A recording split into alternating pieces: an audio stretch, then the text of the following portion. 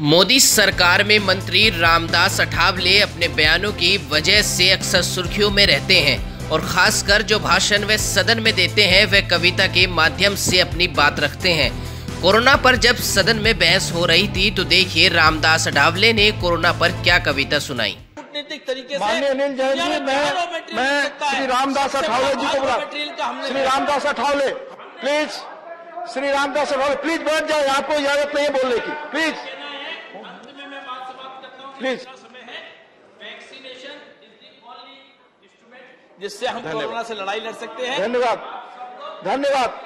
धन्यवाद। माननीय अठावले जी सिर्फ़ दो मिनट। बहुत धन्यवाद। सिर्फ़ दो मिनट प्लीज़ कंक्लूड और आपसे आग्रह है कि बहस शुरू होने के पहले नाम भेजे। प्लीज़ दो मिनट। दो मिनट। एक बहुत बड़े गंभीर विषय पर हम सब लोग यहाँ जो जो लोग मतलब इस महामारी में हमें छोड़ कर गए हैं, उनको आदरांजलि अर्पित कराने के लिए, और दोबारा तीसरी वेव ना आए, और उसमें मतलब किसी का नुकसान ना हो, उसके लिए विपक्ष दलों के आग्रह पर आज सरकार की तरफ़ से ये चर्चा शुरू हुई है।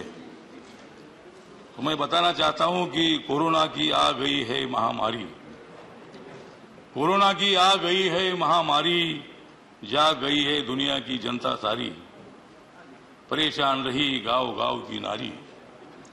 परेशान रही गाँव गाँव की नारी, मेरे ऊपर भी आ गई थी एडमिट होने की बारी।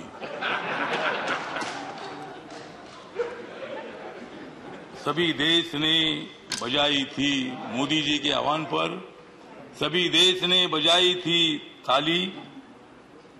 फिर सरकार को क्यों दे रहे हो गाली? सारे देश ने बजाई थी ताली, फिर सरकार को क्यों दे रहे हो गाली? कोरोना की वो रात थी बहुत ही काली। कोरोना की वो रात बहुत ही थी काली।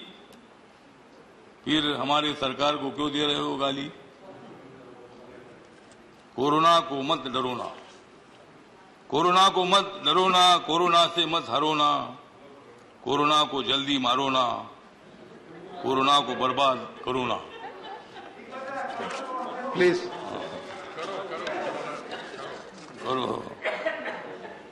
नरेंद्र मोदी जी ने कोरोना काल में बहुत ही काम किया था अच्छा। इसलिए खुश है गाँव गाँव की माँ और बच्चा। नरेंद्र मोदी जी मानुस बहुत ही है सच्चा। नरेंद्र मोदी जी मानुस बहुत ही है सच्चा। राजनीति में वो नहीं है कच्चा। धन्यवाद तो आज आपका यहाँ दो मिनट हम धन्यवाद। लोग यहाँ है इस विषय पर चर्चा कर रहे हैं। धन्यवाद। जिन जिन लोगों ने डॉक्टरों ने नर्सेस है म्यूनिसिपालिटी के वर्कर है वार्ड बॉय है पुलिस है ऐसे सभी लोगों ने मतलब अपनी ज़िंदगी का विचार ना करते हुए लोगों की सेवा की है।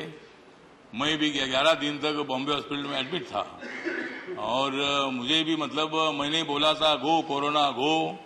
फिर कोरोना मेरे पास ही आ गया। धन्यवाद माननीय अठावले जी। मतलब मैंने कोरोना को बोला था गो कोरोना। फरवरी 2020 को मुंबई के गेटवे ऑफ़ इंडिया के पास मैंने चाइना के एम्बेसडर को लेकर रैली निकाली थी।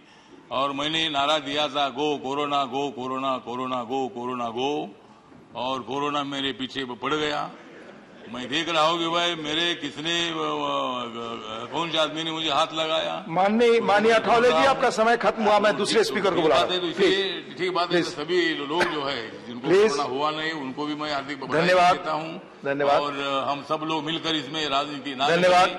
नरेंद्र मोदी के बारे में अच्छा सोचे धन्यवाद। के बारे में अच्छा सोचते हैं धन्यवाद को मतलब अगर सत्ता धन्यवाद। धन्यवाद, धन्यवाद। जब तक धन्यवाद। मोदी जी है तब तक सत्ता में आने का उतना धन्यवाद। आप में नहीं है। माननीय हरदीप सिंह पुरी जी माननीय हरदीप सिंह पुरी जी प्लीज़ प्लीज़ समय समय का पालन कर। माननीय हरदीप सिंह पुरी जी प्लीज़ देश और दुनिया की ऐसी ही खबरों को पाने के लिए जुड़े रहिए हमारे साथ। और हाँ अगर आप वीडियो को फेसबुक पर देख रहे हैं तो हमारे फेसबुक पेज को लाइक करें। और अगर आप यूट्यूब पर देख रहे हैं तो यूट्यूब चैनल को सब्सक्राइब करना मत भूलिए। वीडियो को लाइक कीजिए शेयर कीजिए और अपने कमेंट ज़रूर दीजिए।